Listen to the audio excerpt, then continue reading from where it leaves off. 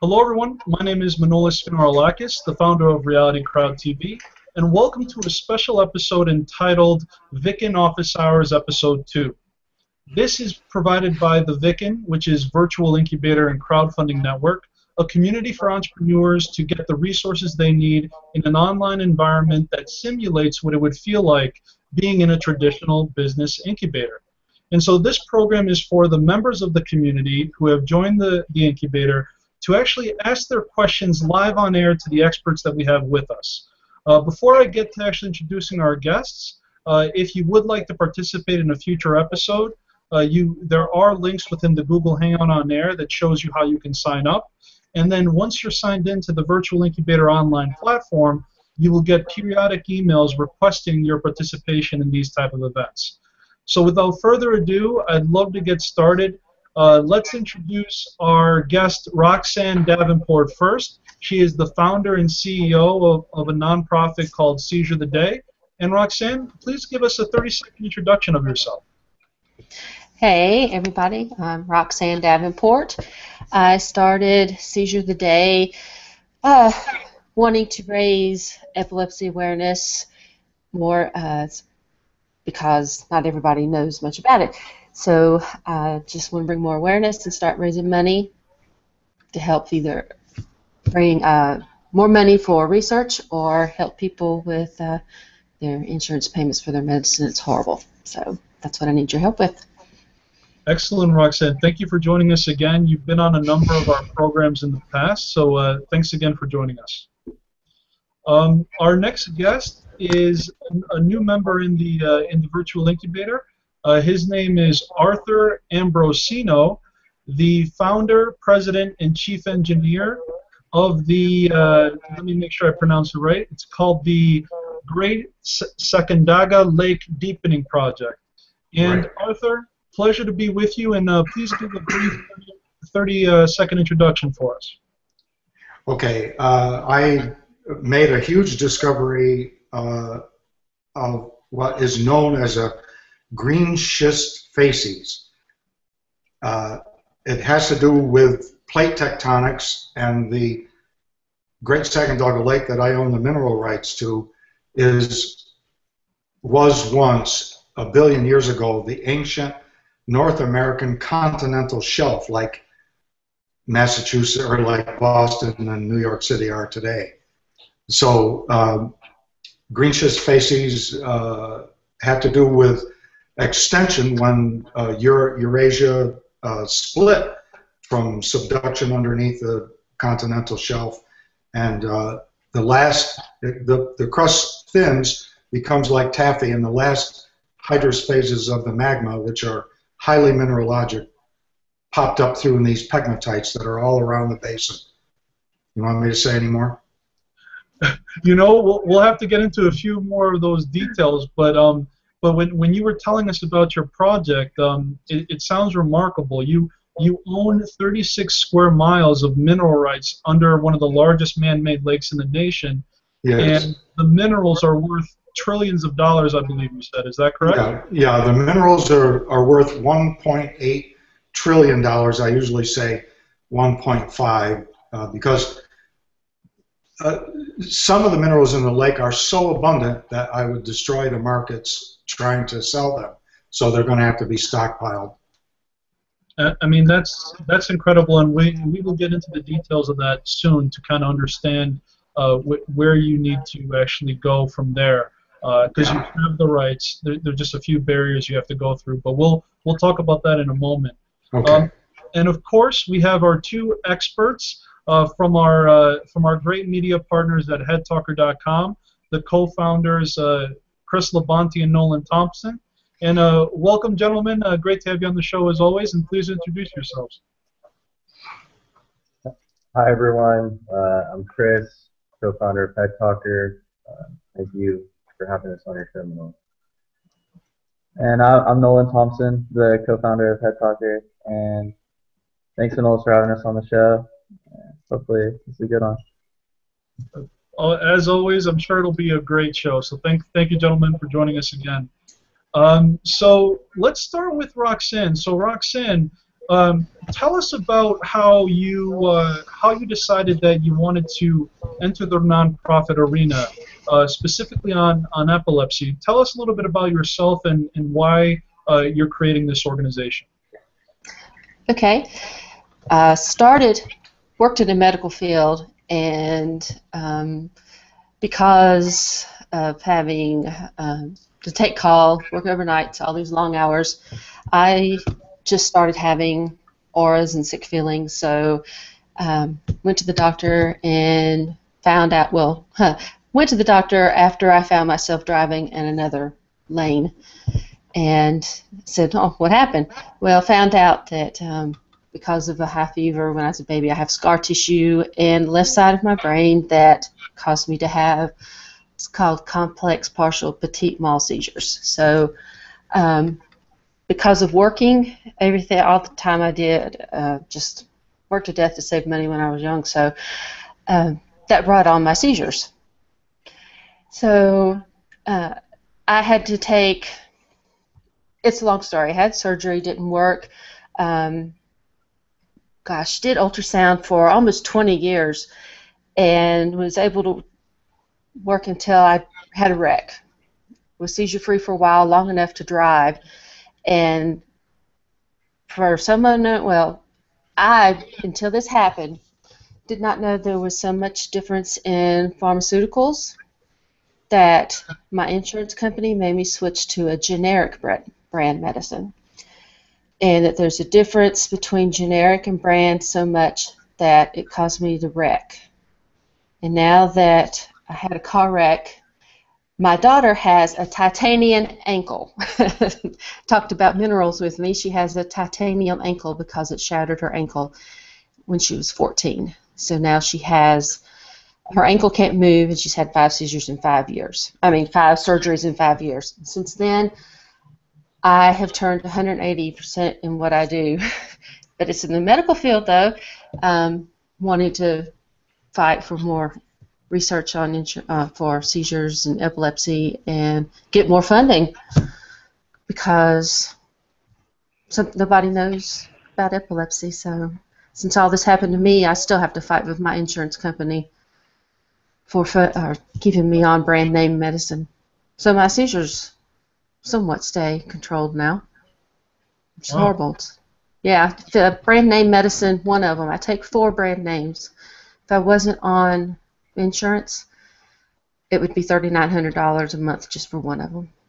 Wow, that is that's incredible, and um, you know, I'm I'm I'm sorry that uh, that unfortunately uh, you, you had to you had to have that incident with your daughter. Um, but at least you're turning that incident into, into a positive. I mean, now, yeah. now you're making it your your life's work to make sure that um, people can eventually find a way to deal with it better than than the current treatments that don't seem to have as great of a great of an impact. Um, mm-hmm. And so, and so, in your journey, where are you right now in your journey? Um, have you? I, I, I know the answer to this, of course, but I just want to ask you. Um, you know, how how far have you come? Like, where are you in your journey right now, and, and what's your next step to uh, to get the process started as far as your nonprofit's concerned? Well, I was working with someone else, volunteering with them, um, doing uh, fundraisers for North Carolina, where I'm at, if you can't tell by my accent. Um, we would have um, had a motorcycle bike ride, raised money. We would have parades downtown, and have lunches with. Um, got to meet some actors and actresses, which was amazing, and um, have restaurants that would give us a night a month for a portion of the profits for the doctor's office, it was a nonprofit doctor's office. So the person that took care of all the tax portions of it left and went back to school to be a lawyer. So that left me with like, oh boy, what do I do now? So unfortunately, I had to leave that office because they didn't have anybody to take care of their fundraising that way. But I kept in touch with everybody, so I said, well, I could go to the Epilepsy Foundation, but and wanted to give them all of that help, but they didn't have enough help, manpower for them to do it themselves. So I'm like, okay. I will try doing this myself. So here I'm asking for help. Someone to maybe tell me where to go with the taxes and things like that. Because I've already have people that can give me um, two nights a month to give towards profit for a night, you know, for people with restaurants, and I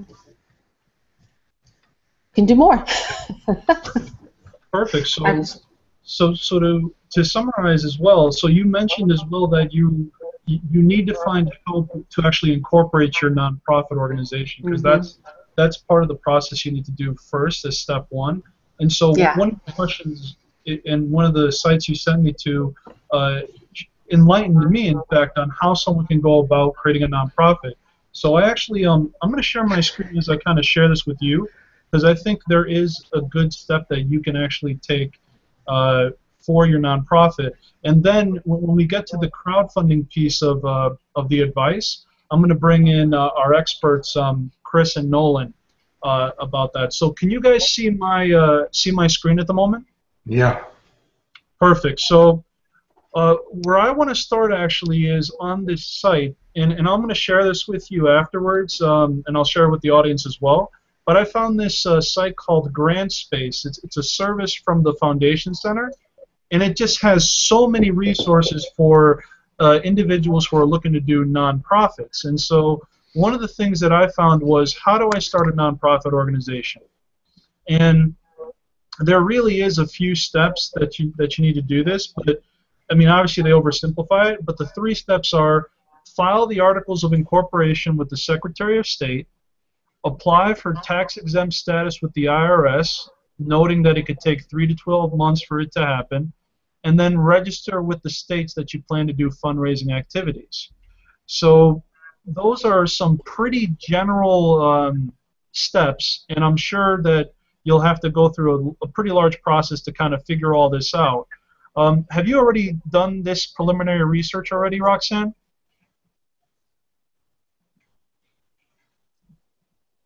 Roxanne, are you still there? I, I mean, not for other things. You, say, say that again. You haven't done that just yet? Not not for all the states. No.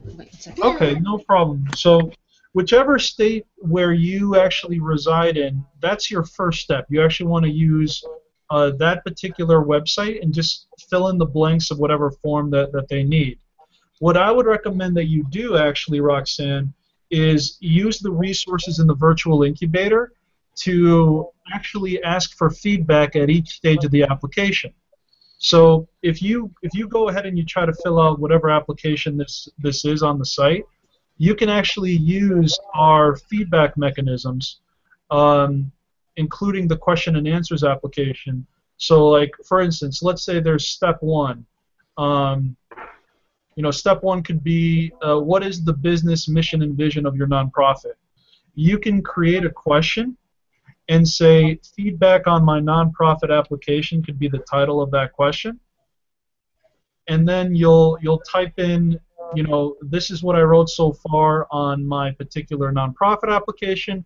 I'd love some feedback in, in ways to make it sound better from the from the community. So because I know right now you might not have the resources to have somebody do this for you but you at least have this free resource to actually get it done in chunks um, does that make sense, Roxanne?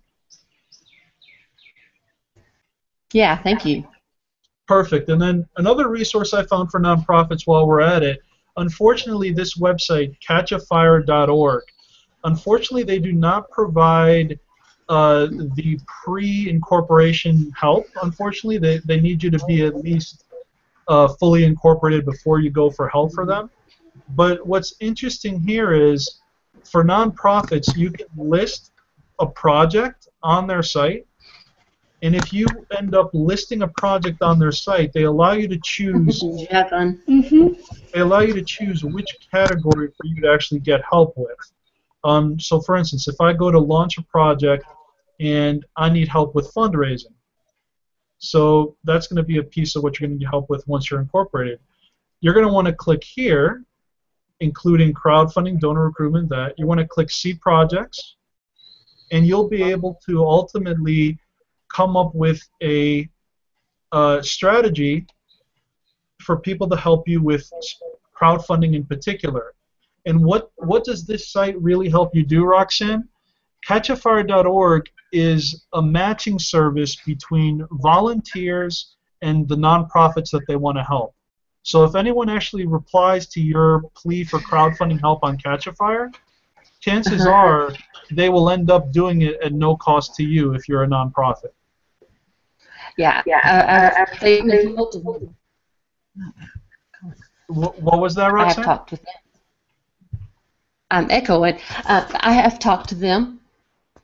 Okay, Uh, they have gotten in touch with me. hmm perfect. So what what happened there? Did did they tell you the same thing that you have to incorporate first? Yeah, and I asked them about websites too. Okay, cool. They answered some questions about the website and um, yeah, about being um, incorporated, and a lot of other ones that I've talked to. Though you have to be 501, so that's what's held me up. A- absolutely. Which then which then brings us to what you found on your own. This website that you sent me before the actual uh, webinar is a uh, is called United Charitable Programs. I've never heard of them until now, so so I I can't uh, I can't advise on the uh, credibility of the site itself. But when I click on fiscal sponsorship and I read through it, it sounds pretty awesome. This site and probably others like it, if you Google fiscal sponsorship, like companies that do fiscal fiscal sponsorship, you might be able to use their administrative uh, prowess to ultimately do all the legwork for your administrative side of your nonprofit. And what you end up needing to do is then just be the fundraising arm of your own nonprofit. So if you feel as though the administrative side might be overwhelming for you personally, you might want to begin starting with something like a fiscal sponsorship, which, you know, you know, it, it seems like you, you get accepted into this program, you become part of their charity, and any donations to your particular program would be tax deductible. So it looks like all the all the actual donations would go to their personal program, but then they would allocate whatever resources that you've raised for your own uh, nonprofit to your particular program. Does that is is that uh, sound like what what they do? It it said that they keep out a portion to be like you would be paying them uh, for their to give them a paycheck. So um, they keep eight percent is what when I looked further into it of what you bring in, depending on if it was under a total amount. I believe the number was ten thousand dollars a year. If you bring in less than that, they keep eight percent, and um, they charge half of it depends on if you have need something overnight shipped to you or if you were giving a package to somebody um, they charge you so much overnight fee or things like that so Interesting. Okay. but this they um, they also work with the um, company um, great uh, oh shoot. What's the name of it? Um, I just forgot it. I'm so sorry. I'll think of it. Nonprofit for good. Nonprofit Oh, so- for good the Social website. Yeah, another um, for the all their websites, all that, and that's how I found these people who nonprofit for good to work on it. How Very um, interesting. They they Yeah. work with them. So And um, and let me ask you a question too. And so, so it sounds like then they are a credible organization from a from a very cursory view. You so so you mentioned to me that in order to apply for their program, however, there is Mhm. an application fee. And how much was that application fee? it's three hundred and eighty-five dollars. three hundred eighty-five dollars. And so, you know, to me, what that sounds like to me is that it could be a very good use case for a mini crowdfunding campaign. Um, I know three hundred eighty-five dollars doesn't sound like a lot of money, but indeed, um, you know, with with a limited budget, it is. And so, it might be a good way to announce uh, your intention uh, to actually go ahead and, um, and and try to run a campaign for this particular application fee. And so, um, is that something that you might want to consider, Roxanne? That that is uh, because of what they had listed that they provided on that site um, with uh, they do your taxes. The tax give you a tax ID and your um, they even provide letters to send out to people that give. Um, they with doing the uh, Network for Good with your website. Oh gosh, everything that I talked to them about that they had to offer, their websites look great. when I talk to a lady, I keep, she always keeps in touch with me. I probably know her phone number by heart. Uh, it's how good I liked all their offers for their web apps. So um, when she told me about them, and uh, they even said they could help you with your with traveling for uh, if you need to be at a if you need to give a speak and talk to anyone about what you want to raise money for. Yeah, there's my website. mm-hmm. It does need some things. No, I mean, uh, and, and you know what? I I will say this. I will say this. Um, it sounds to me that that might be one of the one of the perfect ways to proceed for you because you obviously you obviously like their program.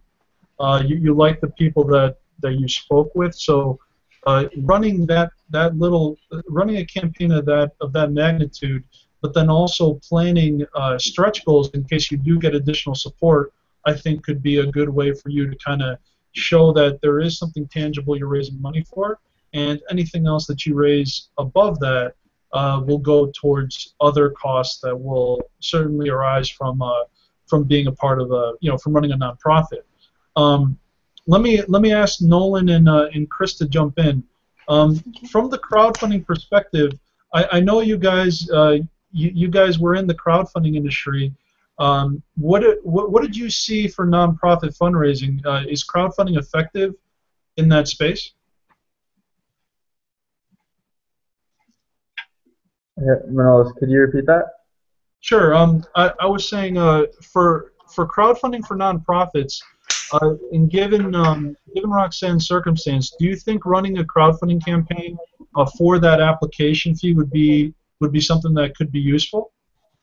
Uh, yeah, I, I definitely think it's something that could be useful because it could let a small audience know what it is that you're trying to accomplish. So if you do a test crowdfunding campaign, see if people are actually behind what you're trying to get done. It could definitely be a great way to test who's going to be engaged and how you can engage them more uh, for your next larger crowdfunding campaign. Excellent, and um, and so how how can they use Head Talker in in connection with the pre-launch to um, to actually help her get the word out right when she launches. Like, can you explain a little bit more about how she can use Head Talker? Yeah. Um, so Head Talker works. Uh, it's similar to crowdfunding, but instead of contributing money, people actually contribute their social media voice. So how you could use it is you could actually complement your crowdfunding campaign and actually take the people that are helping you financially and have them add their social media voice to help spread your crowdfunding campaign to a newer audience that you wouldn't be able to reach just on your own. Um, and if you do talk to people and they say, listen, I love what you're doing, but I don't have any money to contribute to your uh, crowdfunding campaign, you can show them the link to your Head Talker campaign and actually get their support through social media that way. So that way, if they can't help you out financially, they can help you out socially. So they're going to be able to help you out one way or both ways, depending on um, how you convince them to join. Excellent. So, I mean, I'm, I'm also showing the audience really quickly um, how this works. Uh, I, I just saw someone's random campaign for a, for a crowdfunding campaign for diabetes. You literally go to their profile, like we see here, and there's three buttons here that allow you to support a campaign uh, with a click of a button on each of the social networks. So uh, if someone wanted to share on uh, Facebook, for instance, You just click uh, click the Facebook button, click Add Support, and then immediately it gets uh, supported. And then after the person supports, we see here that the actual number of supporters has increased uh, to 39 instead of 38. So if this individual reaches 50 supporters uh, by the time uh, six days passes, then this particular message, the one that says 387 million with diabetes globally uh, are writing this book, this particular message will go off on each person's social channel as if they wrote the actual uh, message themselves. So this is a massive viral marketing tool uh, that can certainly be used for crowdfunding and is in fact used a lot for crowdfunding. So um, have you ever used uh, Head Talker before, Roxanne?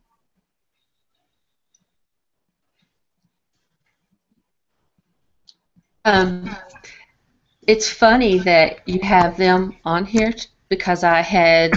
You're gonna get ready to have a hangout, right? Head Talker is gonna have a, a hangout or a, a seminar or something. Are y'all gonna ready, are you ready to have one, or somebody Um, want somebody with you? so. Unless I we're on this one. Do you what now? Did I just miss it? no, we're on this hangout right now. No, but maybe it's somebody else from Head Talk. Well, duh, okay. I'm sorry. That did does that sound stupid, but I, I signed up for to listen to some what Head Talker, another hangout with It must- Talker. Yeah, I mean, it could be a member of their community too, uh, potentially. That did sound stupid, didn't it? no, it's okay. Um, it's okay. So, uh, so I don't, I don't think it, we're on that one, but if you send us the link, I'd love to check it out. Because right when I saw Head Talker, I was like, wait a minute, I know Head Talker from something, but it's not one of y'all's faces. So, but I know the picture of the person. I think, do you know a Brian? Um, sounds familiar. Somebody named Brian just uh, launched a giveaway on our site. He's Well, okay. app. Well, that's uh, where I, okay. But- Well, yeah, I had checked into them. I saw y'all up there. Did that answer your question? I'm sorry, Manolis. yeah, no, no problem. Um, you know, they, they would be a great tool uh, to use when the time comes for you to launch your campaign. Um, one one last piece of advice too on a platform to use uh, when you do launch, because I, I know that Arthur has been sitting here patiently, so I'd, I'd like to uh, switch over to him shortly. But um, there is a new crowdfunding platform called Launch Leader, and uh, and they're actually a really really good team of guys, and they're actually made for specific projects like yours, Roxanne. Uh. Launch Leader is the uh, is the crowdfunding platform to proto to crowdfund your MVP. So they're, they're not there for like the large million dollar projects. They're there for the startups who need to crowdfund an MVP or who need to do little step by step um, step by step funding mechanisms. And as you can see here, uh, people can actually have different funding levels for different financial needs. So this one, for instance, on their on their uh, test uh, on their test site has I need $99 for a landing page, or I need $300 for social media ads, or $25 to purchase a dom- domain. You Mhm. can create a crowdfunding campaign on Launch Leader to outline specifically the different components of what you need funding for, starting with that application for the $390. Okay. So, um, so after this, uh, I can definitely share this with the rest of the audience. But this is a kind of a pre-crowdfunding platform to raise funding in preparation for a larger launch of a of a product or service. Great. So, um, so definitely check them out, and um, and I think that'd be a great way for you to proceed. Cool. Thank you. You're welcome. Very good. So without further ado, Arthur, I apologize for uh, for the wait. Uh, you know, now now we have the next half hour dedicated to you. Um, so you have a very interesting situation. Uh, you have you, you've been working on this for over 35 years. You're from the area where the uh, where the lake is from. You worked uh, seven years to actually uh, perfect the mineral rights with the state. So you you legally own 36 square miles out of a total of 42 square miles of mineral rights under this lake. Uh, tell us about your background. Who is Arthur uh, Ambrosino? I'd love to know what your background is and why you're so interested in um, in uh, digging into this lake. I mean, aside from the obvious. Uh, so give us give us a little of your background, uh, Arthur, and, and, we'd love to hear it. Well, I, I could care less about the value of the minerals. Uh, I was I started this uh, to solve some problems on the Great Sacandaga Lake uh, that have to do with the shallowness, which has to do directly with um, the pollution in the lake. Uh, it goes from 280 billion gallons at full pond. Uh, they draw it down by about 25 feet a year to make space for uh, the snow melt in the spring. Uh, which brings it down to a little bit less than a, a 100 billion gallons. There's 280 billion gallons uh, at full. And uh, so there's pollution problems, there's navigation problems, and uh, the lake would be sterile if it wasn't for stocking. Uh, so it's a fisheries issue as well.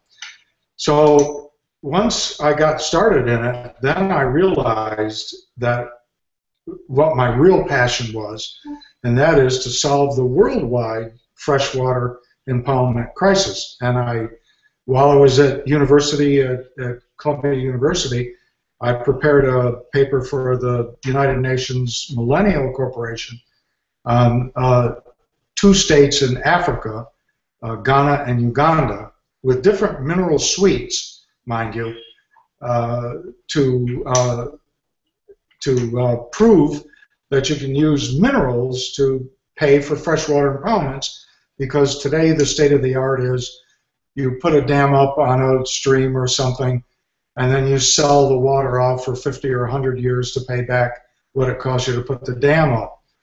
So this is the first ever uh, project of this kind, even though we have thousands of sand harvesting operations around the world. Uh, you want to know why uh, I own the mineral rights in the lake bed is because uh, if you can do the same thing at a sandbank, only you only get uh, recoveries of about 30 to maybe as much as 40% of the minerals, but uh, by specific gravity and water, you can get 95 to about 95% recoveries of these minerals. So uh, then I went on this. So if you're wondering why it took me so long, I've spent years and years and years trying to make people see that I can pay for freshwater impoundments, and I thought that everybody would be interested in the idea, but nobody's interested in the idea. What they're interested in is uh, the money and the minerals. So the more I look, the more I look, the more I look, the more I realize, holy mackerel. Uh, I mean, it, it's stunning to me that the lake is about 80 years old. As I said, it's man-made. It stuns me every time I think about it that nobody ever took a magnet down to the beach. Uh, you, I mean, you can't you can't even believe it. If I showed it to you, it would make your jaw drop. And so uh, I figure, uh, and I've done a fair amount of work on this, that I can do this in uh, 10 to 15,000 places around the world. I can do it uh, uh, in hundreds of places here in the United States. Uh, so that's my big thing. And, and the other thing I want to say to Roxanne is that the, the, the one thing that uh, makes me emotional about what I'm doing is how much I'm going to be able to help people. I, I, I don't need any money. I'm healthy. I'm happy. I'm a serious athlete. I don't need, you know, one and a half trillion dollars worth of minerals. Uh, but what I've done here in Fulton County and the Sacandaga Basin is I've created the next 100, maybe 150 years worth of industry. So it's a big, big deal. And this is a big, big deal worldwide. Uh, we have one sand harvesting operation in the United States that's in Starke, Florida. It's run by DuPont, and DuPont is talking about partnering with me because um, uh, the, the, at first they dismissed it because uh, they are sand harvesting ilmenite in beach sands, uh, which are a lot more mature because the you know from wave action uh, they've lost a lot of their iron, so they're about 65% titanium. These are typical ilmenites uh, from like anywhere in the world, from 45 to 55% uh, uh, titanium. Uh, my sands in the Great Sacandaga Lake happen to be about 51% titanium. But uh, they're coming around to the end of their operation in Starke, Florida. They've uh, used up their deposit, which was 15 miles long by three miles wide, and uh, and uh, they're going to. I think they're going to partner with me, and, and I can use their equipment and their uh, separation equipment.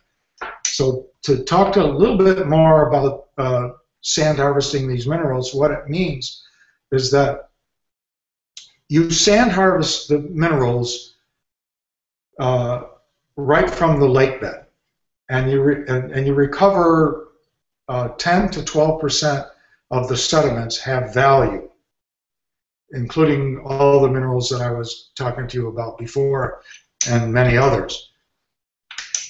Then, at that point, they're worth between four and six hundred dollars per cubic meter.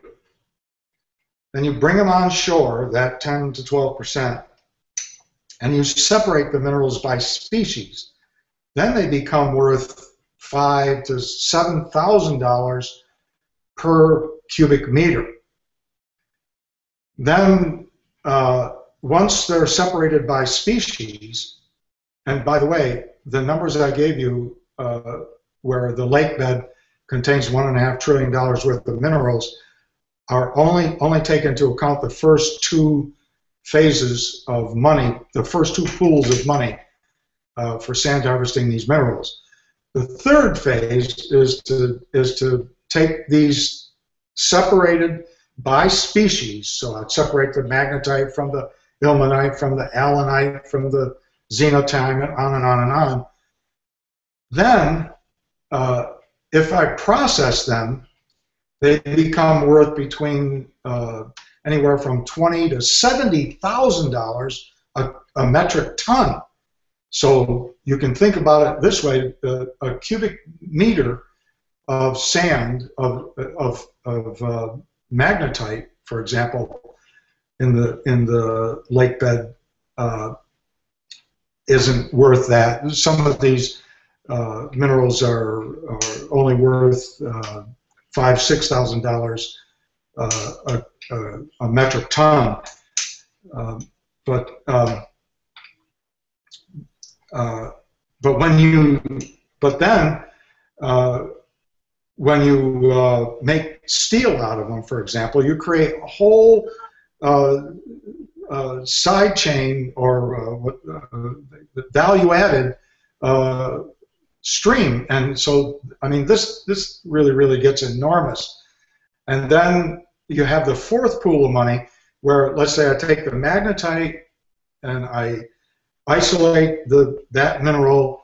Then in the third pool, I make steel out of it. Then in the fourth pool of money, I, I decide do I want to make rod or pipe or sheet steel, and I make another industry there. So you know, it just, I mean, the, the the numbers are so astonishing, so staggering. I I I try only to just talk about uh, the minerals that I own in the lake bed, even though I know uh, that uh, I'm creating the next 100, 150 years of industry in Fulton County uh, off the Sacandaga Basin. Sure. So it's a it's a big big deal. Sure. I mean that and, is. I, and, and I really only care, but I mean it's so big, I won't live it through to see it all. Uh, and all I really care about is, uh, I, I, you know, I just want to, uh, I just want to do good. Absolutely. I mean, there is there is the the project is such a large project, and I I thank you for going into the details as well, because I mean you could tell that this has been your life for the for the last 30 or so years, a big part of your life. Big Uh, part. Yeah. You know, and and so you, I mean, you tell us about your education too, because I mean, you, you're throwing out these amazing terms that I've never heard of before. Um, you, you are you're a PhD from Columbia University, is that right? Yeah. Yeah. Uh, my fir- my first degree uh, when I was a young man, uh, I studied engineering and got an associate's in in civil engineering. Then I I, I wasn't really keen on that, and uh, I come from a city called Gloversville, like the glove on your hands, in upstate New York, uh, right adjacent to the lake, and uh, so I, I I was keen on. Uh, on leather and protein chemistry. I went to school in England and got and I and I got a degree in protein chemistry, and I ended up uh, buying the largest sheepskin tannery in North America. We used to process a thousand dozen a day of dead animal skins, and uh, and I, I absolutely loved it. And I made a big big uh, discovery there. Uh, I, I actually developed uh, with the Eastern Regional Research United States Department of Agriculture uh, the state of the art um, waste treatment system for tanneries. Everybody was uh, thinking it was all protein loadings were the problem, and I got my uh, inspiration from the plating industry and realized that uh, everything was uh, done with a metal or a metal salt. So I developed this, uh, what they call multiple pipe, that's used now in two very, very large uh, tanning centers, uh, actually three uh, around the world where they've grouped tanneries together. but then, you know, the everything went offshore. We lost our business, so I went back to college. my wife did too. She she already had a, a, a, bachelor of science. She went back and got her master's and her PhD from uh, her master's from SUNY Albany and her PhD from Pepperdine. And and uh, then I went uh, I went back to school at the same time, and I I got a couple years credit for my work in England, and uh, it took me uh, two more years to get a, a bachelor of science in in um, geology, and then I got a master's, and I went to Columbia for the PhD. And so I've been, I'm, I'm a scientist, I, and that's my problem. I thought that everybody would think what I was doing was, you know, the best thing since sliced bread, like creating freshwater impoundments and completely paying for them.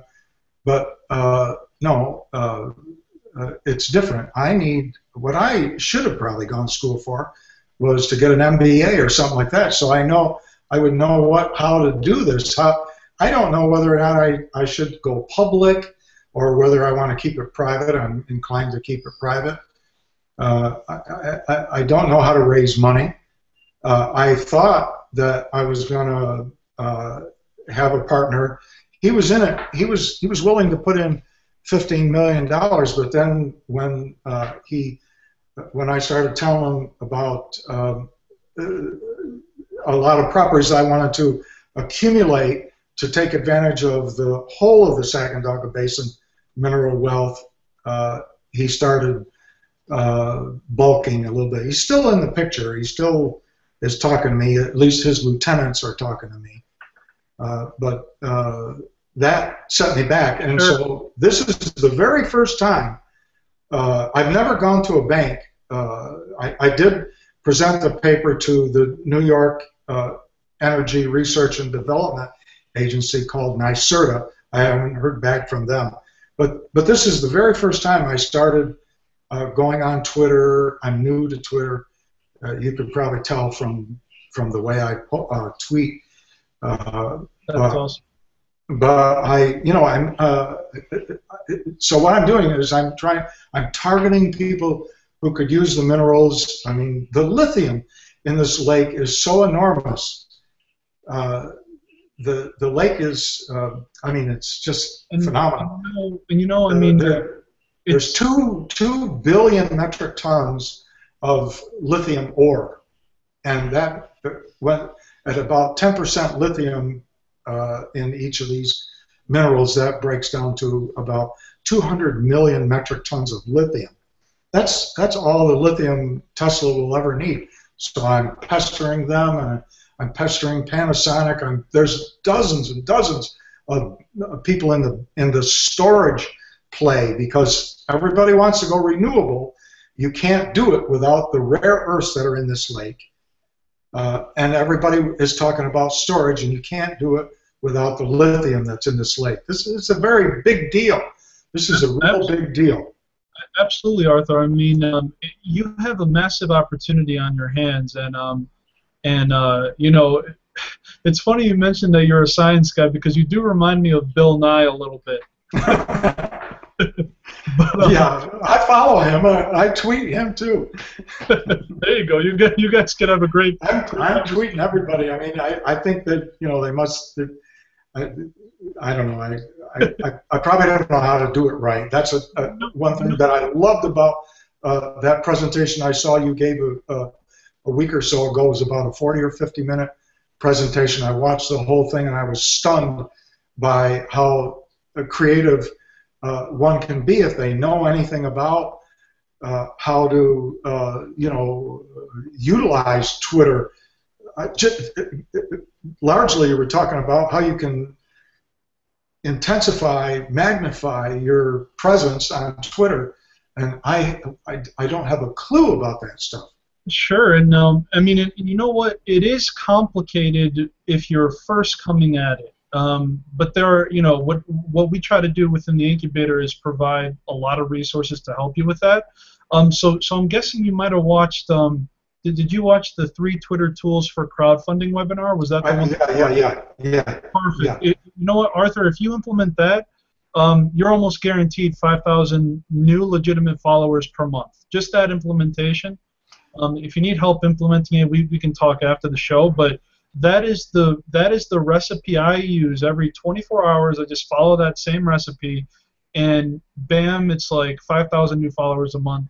I know. I was stunned. Like- now, look. Here, here's what I, I and I wrote you and I said, send me your email address because I, but I'm doing it right now. I'm doing it better right now in person.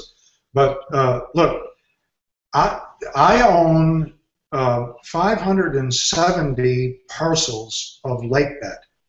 Each one is worth almost two billion dollars.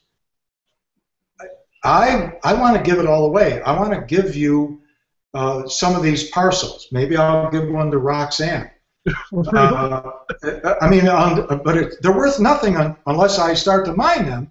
But they're worth a lot of money. I mean, uh, that's I, I haven't figured out even yet how much I should charge for each one of these parcels. I was thinking maybe a million dollars or something like that to raise the 15 million, 20 million dollars that I need.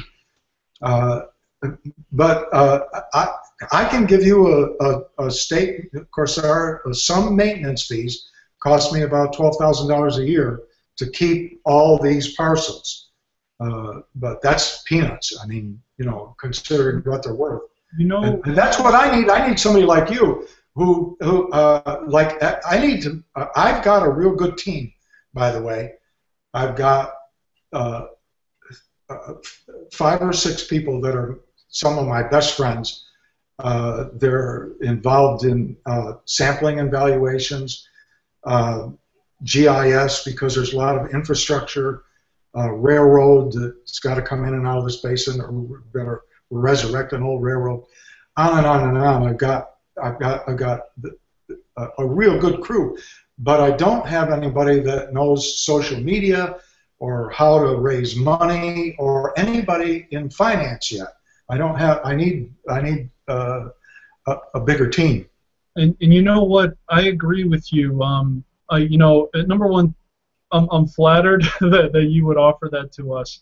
Um, no, number two, um, with what you have, I think you just need some introductions uh, because you know.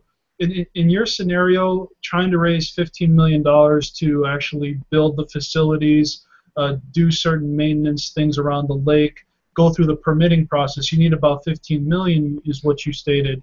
Um, that is not suited for rewards campaigns. So let me actually bring Chris and Nolan into this. Chris, uh, Chris and Nolan, would you say this is better suited for equity or debt-based crowdfunding rather than rewards-based crowdfunding? Yeah, absolutely. And Yeah. and like have have you seen certain sites that you might recommend that, that you've seen that do equity and debt-based crowdfunding? Um, yeah, I mean, just there's the standard few, um, Fundable. Um, there's a few other ones. Even 15 million is quite a lot though, um, on the one. That's exactly what I thought. Uh, I uh, and that's why I'm I'm uh, you know I'm going after all the car manufacturers uh, uh, right in front of us. If nobody's paying attention, I don't know why. Right in front of us, all we're seeing is a switch. Uh, well, it all started a, a, a couple of months ago when Morgan Stanley released a, a blue paper called um, renewable energy and storage.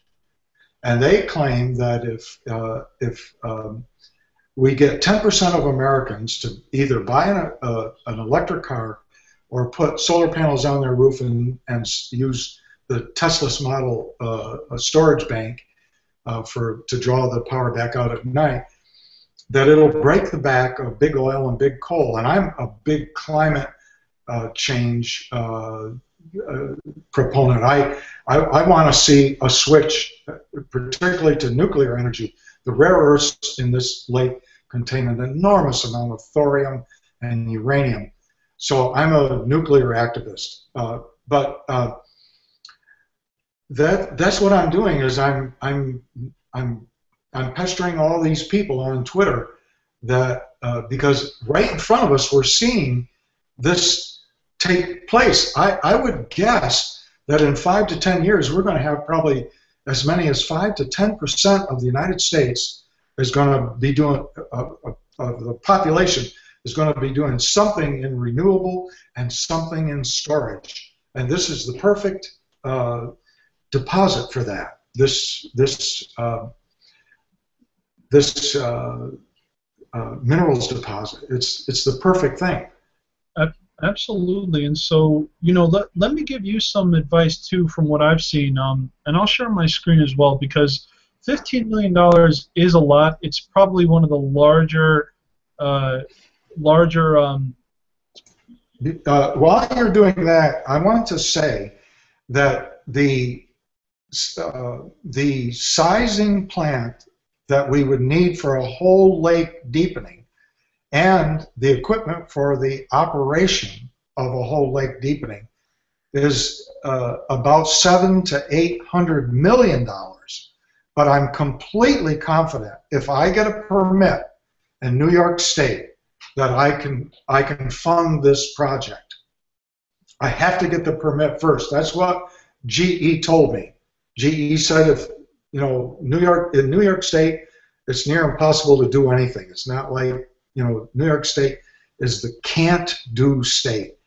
Uh, you can't do anything. I mean, it took them 30 to to 35 years to decide to build uh, the Erie Canal, for God's sakes, which opened up the Midwest to uh, to the early settlers.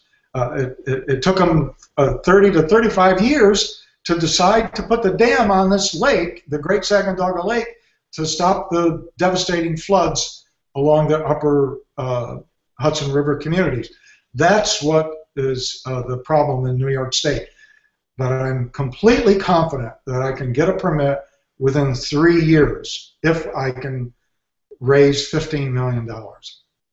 Ye- yes, and so and so this is and so this is what I was going to show you too because you raise a good point. Um, there is no guarantee on the permitting process, of course, because you have politics involved, and so. With politics involved, you, you, you can never tell an investor, I 100% guarantee that I will have a, a permit in three years. Is that right? You, you can't guarantee that? No, I can't guarantee that. But uh, but uh, I I can tell you that uh, in this last year year and a half since I've started to I, I made a, a Facebook page called the Great Sacandaga Lake Deepening Project and holy mackerel, uh, the thing is exploding. I get uh, two three uh, people joining every day. I mean, it's and I, and I don't promote it.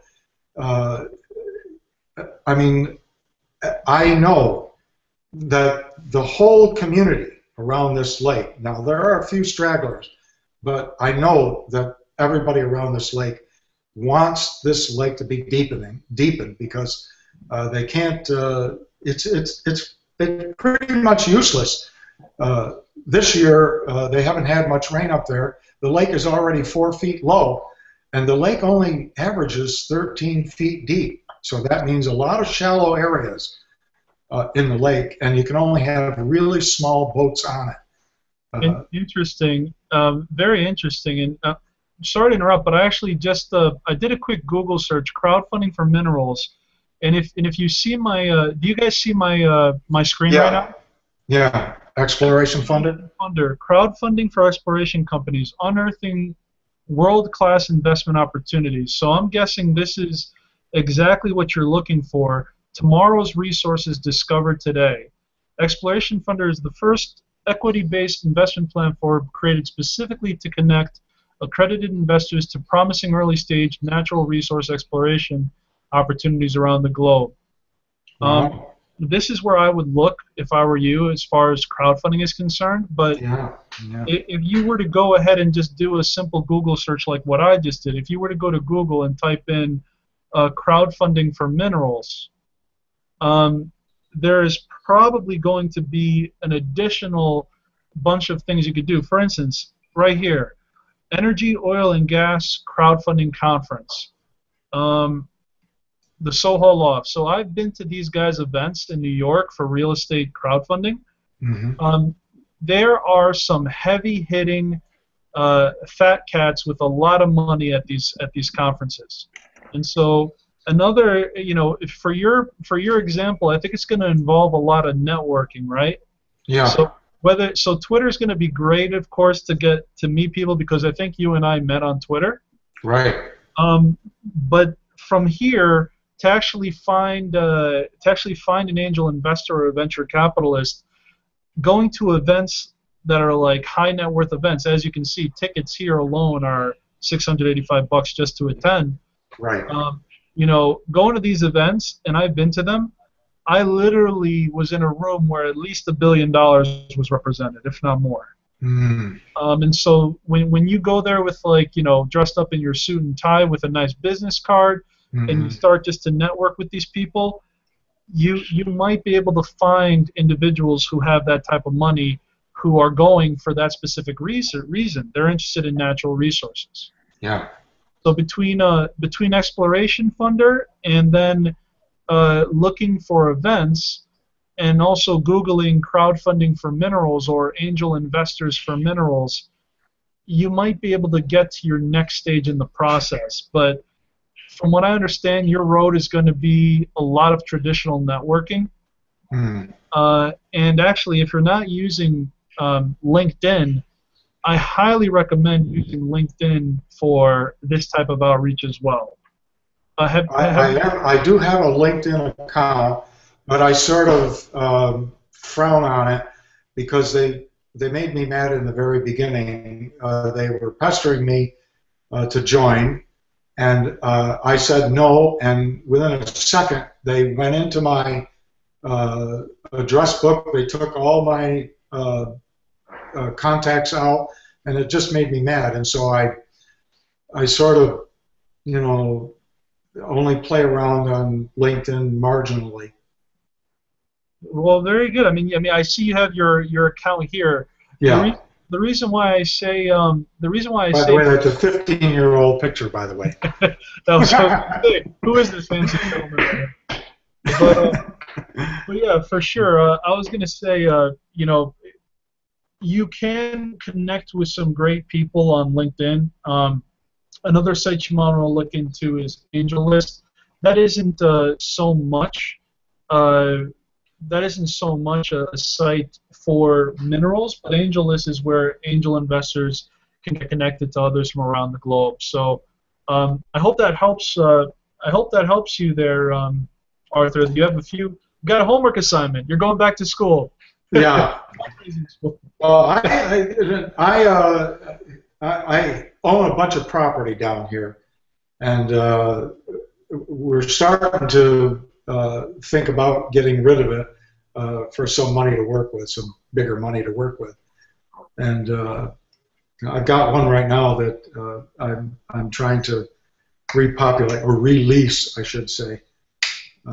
So I'm I'm busy. Uh, I I need a bigger team. sure. There's no doubt about it. Let's definitely touch base after after the webinar then and see if I can connect you with the right people. All right. Um, I definitely would like to do that. So uh, it is 9 o'clock, but I do see we have a new guest. We have uh, Joe who has joined us. Uh, Joe, can you please introduce yourself to the audience? Joe Chiang. And um, I find this very, very interesting. I'm still trying to learn after a total, total failure of a crowdfunding campaign, uh, probably, I guess, two, two and a half years ago.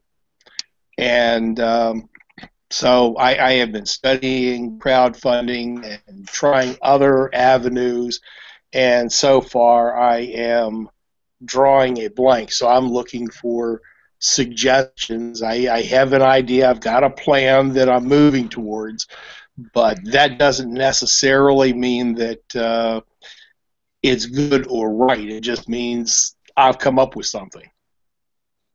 Absolutely, Joe, and um, and and I apologize. Uh, I, uh, if you don't mind not rocking, just because it is a little bit distracting. Oh, I'm sorry. oh, it, it's okay. No worries.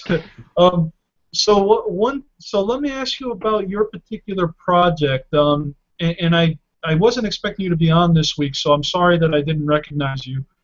Um, but what, what's your particular uh, project that you're working on exactly?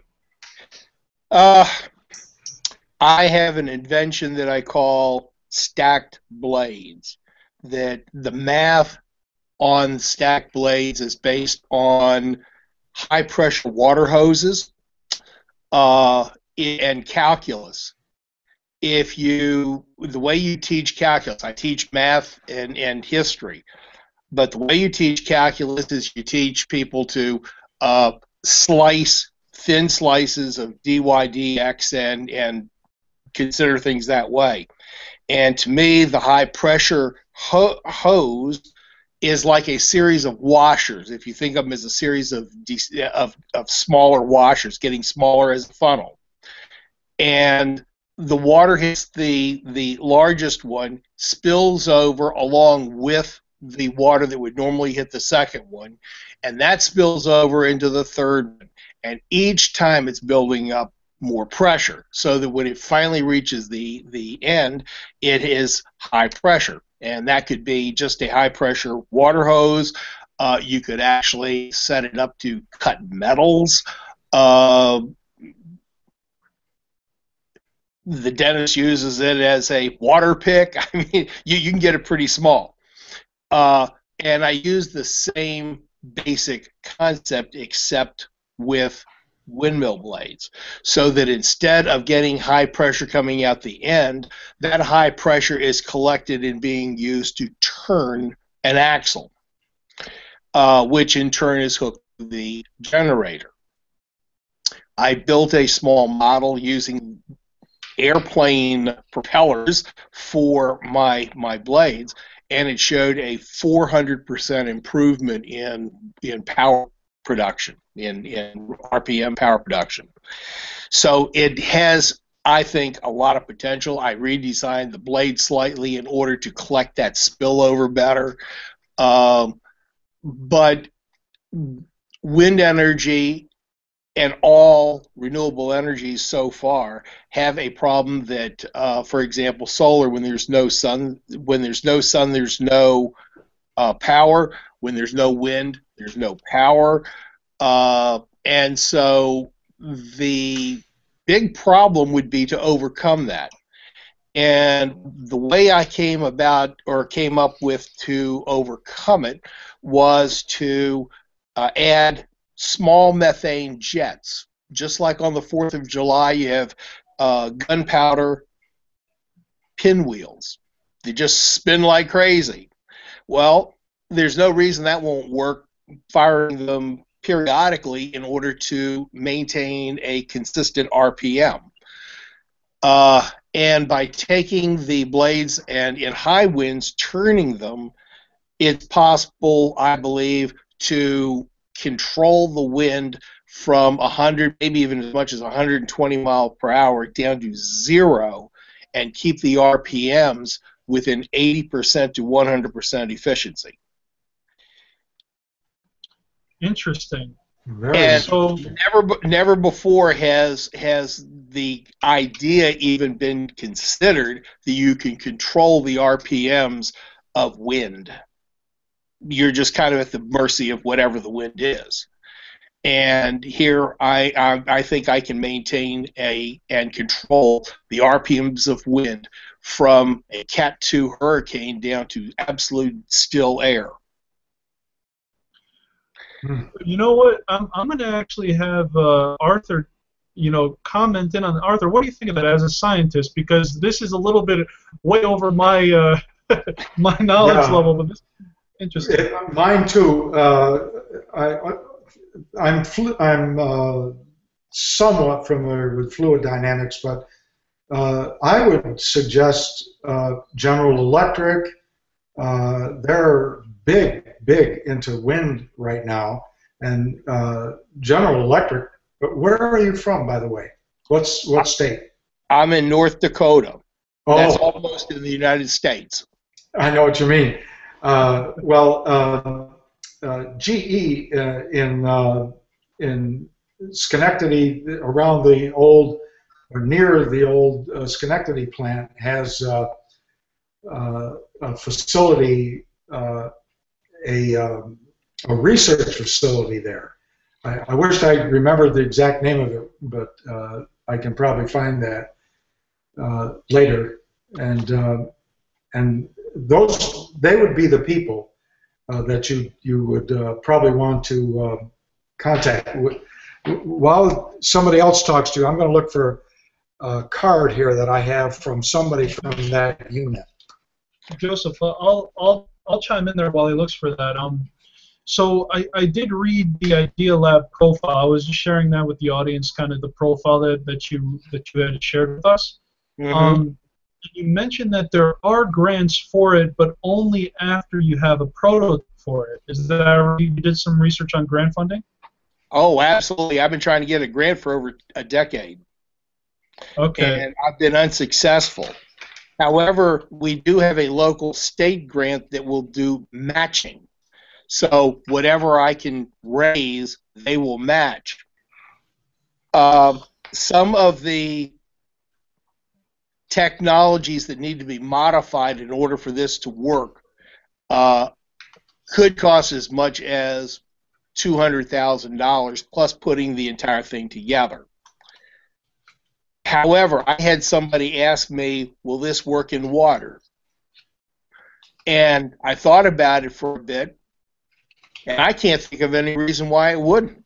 It's still fluid dynamics passing passing through the blades, and and it should work the same way it does in in uh, high pressure water hoses, and That's- except that it can be done in rivers and streams that normally are the, the flow of water is too slow for in order to collect uh, in order to turn a generator where what I've got if you magnify that 400% now I think maybe it could it could turn that generator. Um, and, and and I think I can build a model to do that for as little as 10 grand. Uh, and so that's kind of what I'm targeting at for the first for the first shot. The problem is is the market is well, there's no such thing as as a what I call a water mill, and so therefore there's no market for it, which means you'd have to educate maybe municipalities if, that are on rivers that they could get these, put them in their rivers, and be self-sustained as far as their electric power goes. But they have no budget towards that. I mean, it's creating a market that doesn't currently exist in an area that is highly against change. And and so that makes the marketing of it very, very difficult. Uh, but it would prove absolutely unequivocally that the stacked blades portion of, of the wind works. But in order to uh, get the methane to tie in, uh, there's things like a baby digester, uh, PSI booster. Uh, you've got to modify a controller so that we get methane to pass through the uh, through a rotating hub. Uh, the small jets have to be uh, modified for exactly the kind that, that you want or that would be wanted. There there needs to be a muffler because there those jets are normally and naturally very very loud. So you got to have a muffler and probably a flash suppressor so that if it's going off during the night, we aren't getting bright flashes. Uh, and that's more for marketing than for for uh, the ability for it to operate. So there's a lot of these little things that have to be done that don't have to be done to do it in water, but in order to market it outside. However, once that's done, these don't have to be very big. They could be uh, 10, about 15 to 25 feet to the to the hub, and and a 10 to 15 foot uh, diameter. It doesn't have to be the real real big ones because if more energy is needed, add another set of stacked blades, and you you just increase the uh, what what's being collected. So smaller ones could be used. Well, I, I found that, uh, look, I, uh, you need to get in touch with GE because they are making power with underwater windmills. I know that. Um, and uh, you, you, you'd also want to uh, contact people in what they call pump storage. Uh, they're, they're like hydroelectric uh, power dams. The only thing is they, they have a body of water they pump water up a mile or so up the mountain, and then they let it back down. They pump it up with the turbines, and then they, they let the water back out and create power. We have one here in New York that uh, subsidizes the uh, the uh, the the the trains in New York City because they're all electric. But here's who you need to get in touch with. It's GE Global Research. I can give you a telephone number. I, am not going to give you this guy's name because he's into mining, electrification technology, mm-hmm. vehicle electrification. That's all up my bailiwick. And energy storage. That's me. But they're at one research circle K-1 1C29D Niskayuna. That's N-I-S-K-A-Y UNA, New York, 12309. And it's, uh, I'll give you a telephone number. It's uh, 518 387 5024. Uh, you're going to fit right in with that group. I, I promise you. I, I, I love I love seeing that and um and just so you know as well uh, both Arthur and Joe in that mass email that you got to actually join this webinar, I would also reply to that email to each other uh, so that uh, in case Joe wasn't able to get that um, over the webinar, at least you can do it through email afterwards. You guys have each other's information. Okay. I, cool. I appreciate that because you must have seen my face that no, I was not getting it. I, I did. I noticed your and I was like, he, he's not writing it. I'm a lot like you. Uh, I, I'm a scientist, and I I don't know much about the world of money, and that's a big that's a big problem. Well, I kind of run in a different direction. I, I teach math and history and economics and things like that. And so, but but I'm an idea person. I, I understand concepts, and I can take a concept from way over here on the right and way over here on the left, and I can see how those can come together where nobody else has done before. I know there's a thread between everything. You're right. Absolutely. And, and so that's kind of what I've done here. Is is uh, I'm I'm taking this high. Pre- I don't understand why somebody hasn't come up with this before because it's very simple. The simple is always this, uh, the best. And that, that's the, what I was telling to the guys before you joined. Uh, I can't get over why nobody's ever taken a magnet down to the beach in this lake. Uh, over, I, I, it just baffles me. I, I ask myself all the time, why me? Why, you know? But I'm the one who's I'm the curious one. So so are you. So you Yeah. you go places. You, you both are, are the chosen ones. so uh, I wanted to ask um, I wanted to ask uh, Nolan and Chris. I know they're having connectivity issues. Uh, are you gentlemen still there? They might not be. Uh, they might not be connected, unfortunately. But I, I did want to share with you something that they actually turned me on to, and this is for Joe, uh, and actually this is for you, Roxanne, as well. Um, they actually uh, turned me on to this new grant program from Wells Fargo. It's uh, it's the Wells Fargo contest. Please vote and share if you can win. So our, our two guests, the two co-founders from Head Talker, are currently looking for votes for a program.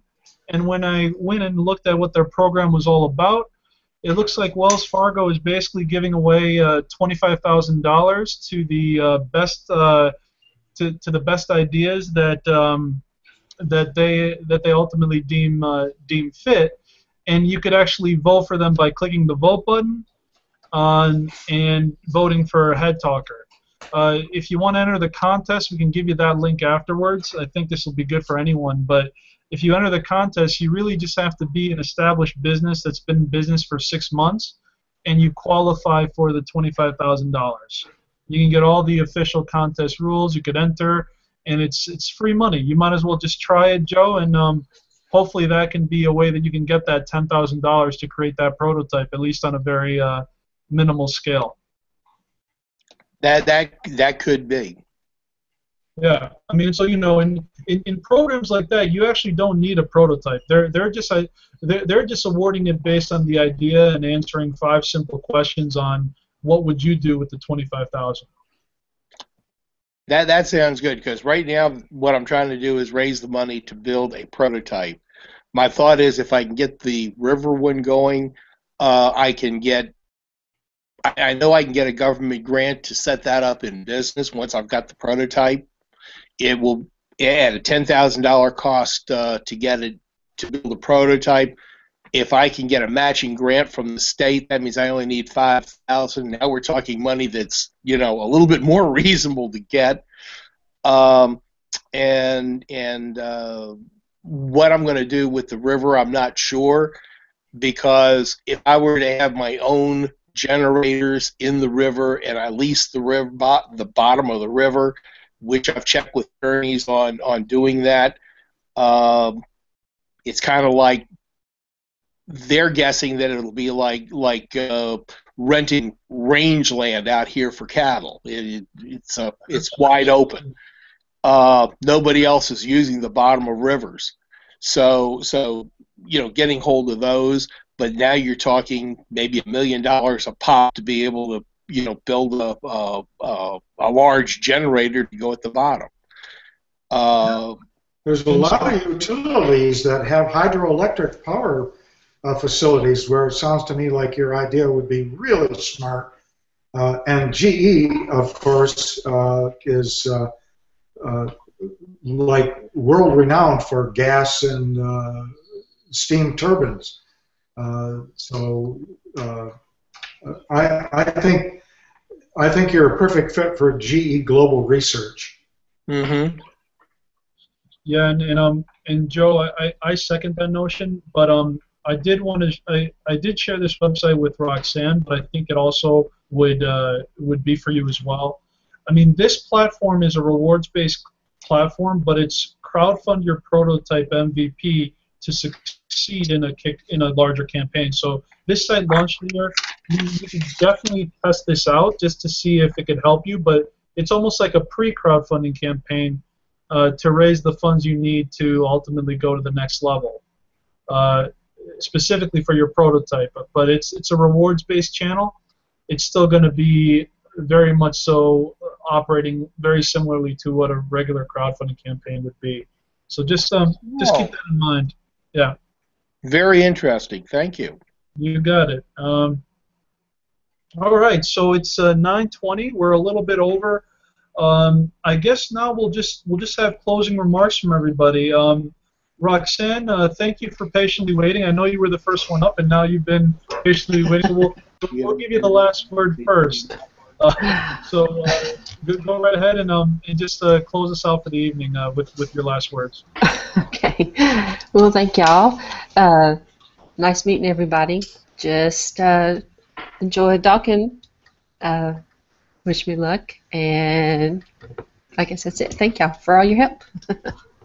Wonderful, Roxanne. Thank you again for joining us. Um, and uh, and I really do recommend using the Q and A function in the incubator to, to allow the community to help you fill out your uh, your 501c3 application, or uh, at least as a as a grounds to uh, to see if you could fill out the other application uh, for the fiscal sponsorship. So we'll we'll be there to help you along the way.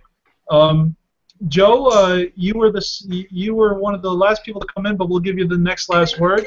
Uh, any last words for the audience?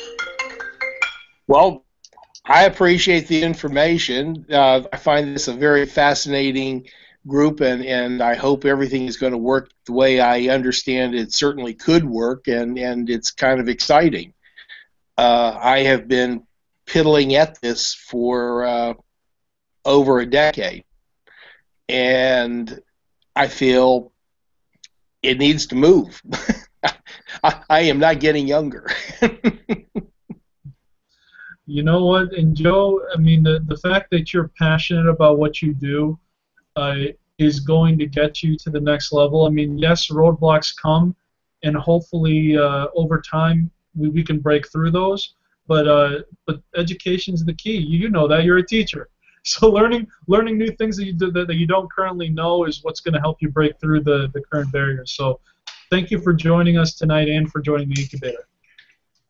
Thank you. Um, and then Arthur, uh, aka uh, Arthur the Science Guy. um, yeah. Can you uh, can you please uh, sign us off for the evening? I will. Uh, I, I, I thank you very much. It's been fun, and uh, I I, I, wanted to make a couple of notes that um, I, I'm getting emails that say so and so wants to friend me on uh, your reality uh, crowd uh, TV. And I go ahead and open up the link. I just I hit on the link, and uh, after the first one or so, or first two or three, now uh, I don't know if they're receiving my or my extension of friendship back or not because there's no sign in anymore. It just automatically uh, takes me into the site.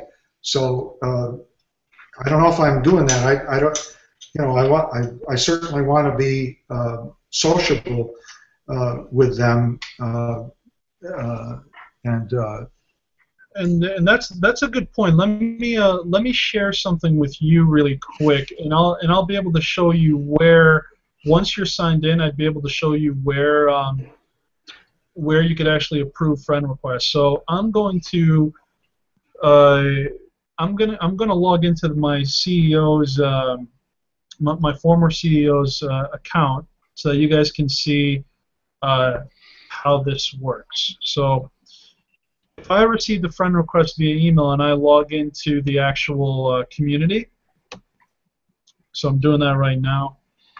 Um, anyone who has requested my friendship, if that link doesn't take me to their direct profile where I can accept, then it will take uh, then it will take me to this member homepage. And if you see here, if you have any pending friend requests that you want to that you actually want to, um, oh, it's a little bit too big.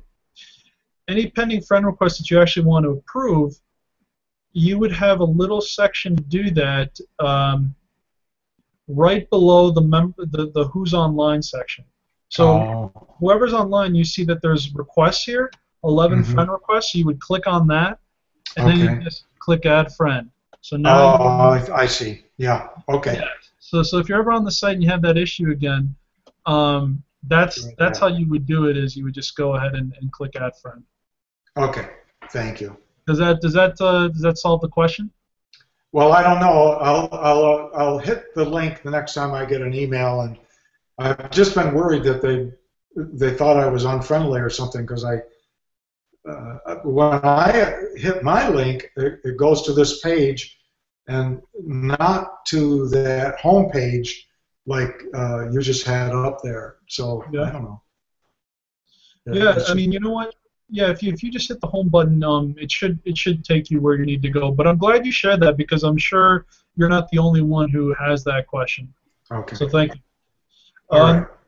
Great. So it's about 9:30. We've gone a little bit over, but this was all good stuff. We got to meet three great uh, members of our incubator. We got to meet two great mentors who unfortunately had internet connection problems with uh, Chris Labonte and Nolan Thompson from Head Talker. And uh, we'll continue doing this. Um, did, did you all find this valuable? Yeah, I I did, and. Um, Yeah. and uh, again, uh, I think I think we should talk about uh, you know maybe there are people like you that I can bring on board somehow, either you know offer them uh, offer them a parcel or something like that uh, to uh, help me through this, uh, to be part of the team. You know what? Um, it, it does sound enticing, especially someone who understands the business that you're in.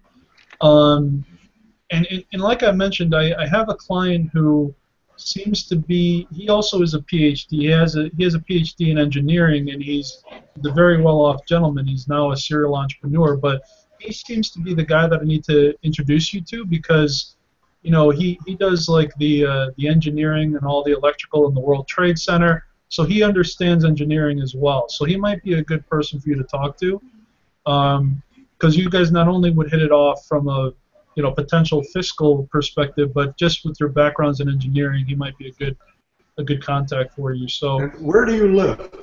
What city? I live in Connecticut. Oh, you live in Connecticut. I've got family in Connecticut. Yeah. Yeah. All right. Well, actually, I, one of the things that I'm thinking of with, with that mention would be building, finding people that might be interested in being on on my team, because up here in North Dakota, it's cold. That's what we've got. You know you know what? We got a lot of oil. That that They, I they, the yeah, we have lots of oil. We Yeah. have lots, and we have lots of wind. Yeah. but um, uh, they we, we had schools closed last year because it got below 50 below zero Hmm. and and the the schools got closed statewide the whole state the governor said shut them all down so uh, uh, my being able to find people that fit in with this kind of a out of the box concept is is kind of difficult because it just isn't my my city here has a hundred houses. I mean, just to give you an idea, the entire state of North Dakota has a population equal to greater uh, greater Richmond, Virginia. I mean, this this state is spread out, and finding somebody is not easy, especially that might be able to fit into uh, a team building type of thing. And and I would be extremely interested in finding people that would be like minded, and you know, in order to do that. Plus the fact that I'm new here, as my wife is pointing out. Yes, I'm I'm new here as well. So that would be something I would be very interested in. I'm not sure whether that would be. I, I don't know enough about this site yet to even know how to ask the question, or whether that would be something that would be appropriate to ask. Is that solicitation, which of course we aren't supposed to do? You know what? Uh, let me let me mention this because that has the you guys are bringing up good points because uh, our our site is not specific for crowdfunding as far as creating a project page and getting money from our site. So it's not a crowdfunding site in that regard. It's more of a, a pre-launch platform to prepare entrepreneurs to raise the funding they need. But you both, and all three of you, I believe, raised this. You all need help not necessarily monetarily. You need help in just knowledge and crowdsourcing and things like that. So, I mean, maybe there can be a future feature that we need to implement that will be a matchmaking service in that regard. Somehow, you will- Crowd sharing.